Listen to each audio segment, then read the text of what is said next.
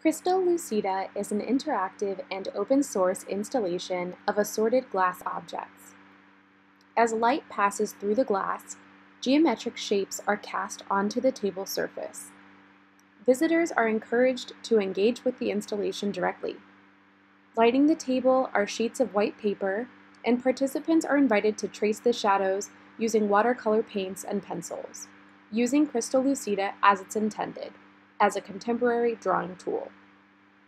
Crystal Lucida is inspired by the controversial Hockney-Falco theory, which proposes that old master painters like Rembrandt, Caravaggio, and Vermeer very likely used optical instruments such as the camera obscura and the camera lucida in the creations of artworks that are renowned today for their technical excellence and mathematical precision.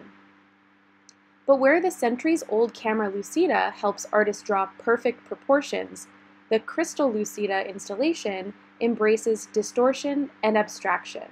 Crystal lucida invites viewers to use and recreate this contemporary drawing tool to play with light, shadow, shape, and color.